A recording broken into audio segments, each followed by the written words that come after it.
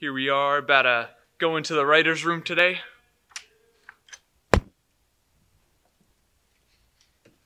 everyone, let's get started. I think when we left off yesterday, we had decided that we were all going to be sitting in lab coats.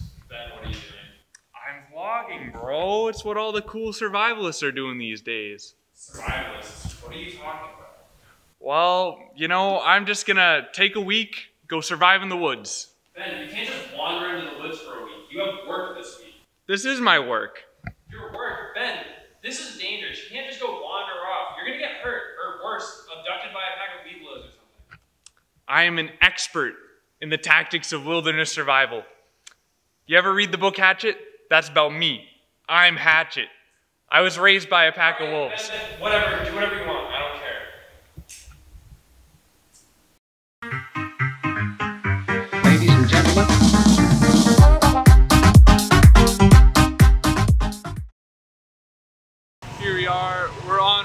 Our destination right now. I have no idea where we are. Alright, get out.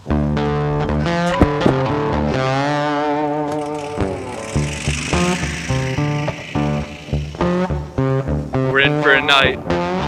So here I am, surrounded by 2,000 acres in the vast wilderness, with just the clothes on my back, sleeping bag, water bottle, fire starter. Try to keep up.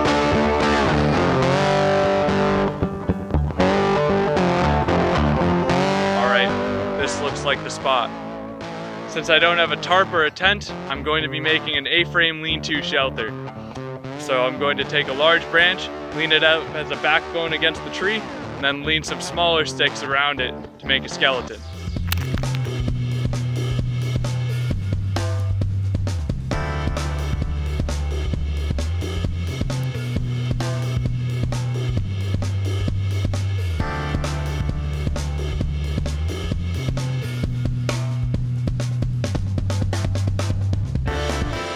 So Q and I were tasked by the group to, to keep an eye on Ben on his little adventure. We just can't have him getting lost or hurt, so we're out here just to make sure he's alright.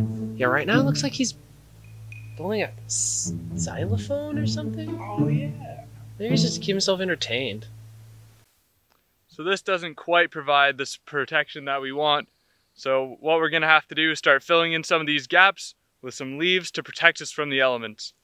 What you're gonna do is take a nice big handful of leaves and other debris in the ground, kind of smush it up so it's a little bit more compact.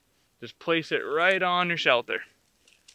Then once you once you get one on, just keep repeating it until the whole shelter is insulated.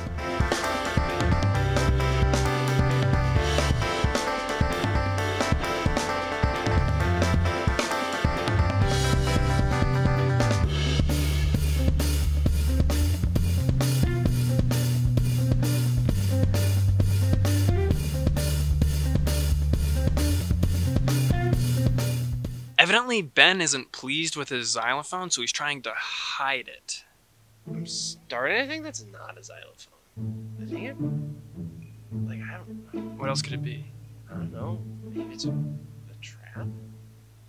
That's a pretty big trap. What what would he catch with a trap that huge? Either a really small deer or a lot of squirrels. Smart thinking, Ben.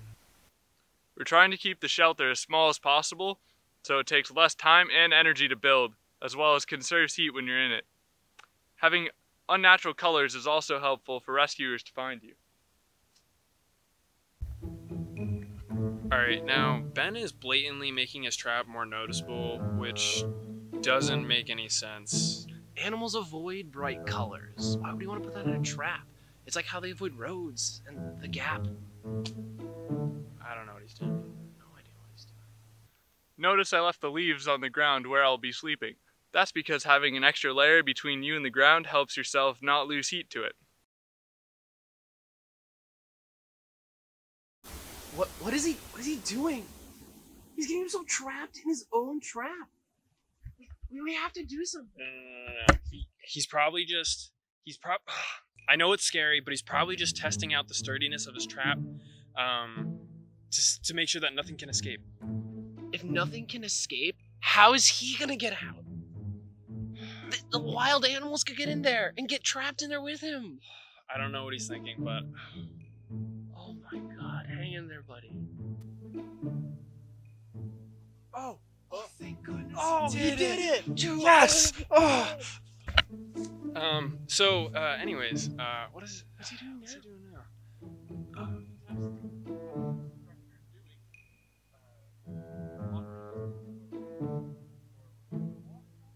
god. Oh my god, Ben. All right, Ben. Ben has officially lost his mind. Ben is pouring his only drinkable water onto the trap. I I don't. What what do you think he's trying to do? You know what he's doing? He's using his only drinking water to lure in the reclusive water buffalo.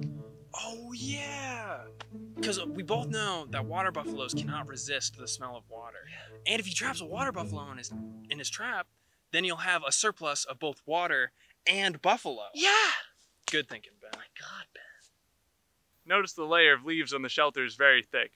That helps keep the elements out and the heat in. For example, getting rid of rain. As you can see, just drips right out. It's been hours since Ben put water in the trap.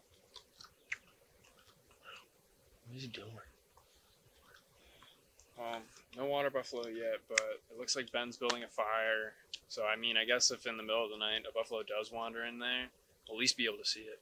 Oh, and then if the buffalo's in there, he can ignite the trap and cook it. Oh, that makes so much sense. Wow, Ben, Ben's very smart. Alright, so here I am, middle of the night, getting uh, about time to go to bed. Alright, so I just woke up here. Um, our last step is to take apart our shelter, make it look like no one was ever here to abide by the leave no trace principles. Let's get to it.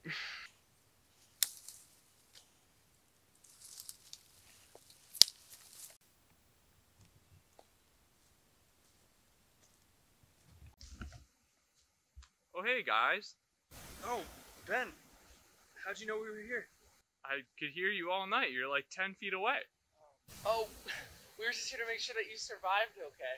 Yeah, yeah. Uh, good, good job surviving the elements. Not that it's that hard or anything. Thanks. I was warm and cozy all night.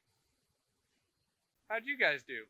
Oh, yeah, cold and wet. Oh, and very hungry, but that's how you're supposed to survive, am I right? Well, we could have just. Hey, hey, do you have any buffalo left over? What? The buffalo that you caught in your trap? Yeah, I'm starving. Uh, just forget it. You guys can check out my video later.